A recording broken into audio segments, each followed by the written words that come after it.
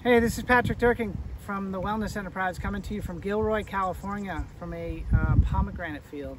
And um, you know, normally I'm not much of an agriculture guy, but uh, I've learned some stuff today that's so amazing I just got to make a video for you. By the way, I apologize for the noise. I wasn't planning on recording today. There's a lot of wind. Please bear with me. There's some important stuff in this video. So what we have here is a pomegranate plant. And if you take a look and look at the leaves, what you'll notice is that you basically have a plant that looks like it would be dead, which makes sense. This land was taken care of by somebody who didn't understand water, and the pH of the water coming out of the well is 8.4. And last year, there were a lot of plants just like this one dying. If we look at this one this spring, it's, it's June, mid-June right now, and you have really bright green leaves here. And what that tells you is there's no nutrient deficiency in this plant. So this plant, which should be dead, is coming back to life. Now, come with me for a second and come over here. Look at this one.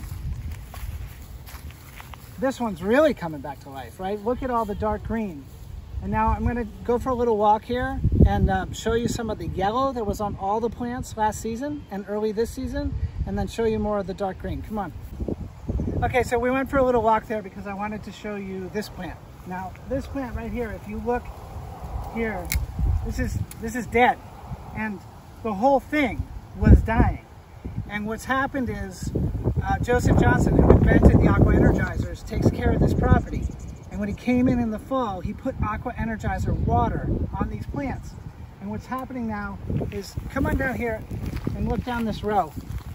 Take a look down the middle of the row and notice there's yellow edges on every plant, right? All these pomegranate plants were dying. And now turn back here to this plant. You still have a little bit of the yellow. You see it out here. But the plant from the inside out, the green, the deep dark green that says there's no micronutrient deficiency is coming from the inside of the plant. And then check this out. This is a pomegranate. Look how far advanced it is, right? And then look here at this one, and then there's more up there and up there. But the plant's putting out a whole nother set of flowers. So it's gonna be um, blooming and producing all year long. So what we've got is plants that were all yellow, nutrient deficient, dying. We changed the water. The, the source water here is a really tough 8.4 pH. And just by changing the water, flowing it over uh, through our copper with our crystals and our ormus, we've got plants that are acting completely differently. This is just amazing. The information here, you just got to see it. Look at these plants. Clearly they were dying. Look at this. This is brutal. Completely dead. And yet the plant is coming back and look how green it is. So over there where I first showed you, those plants, for the whole orchard, it's estimated that you need about 800,000 gallons for the entire season.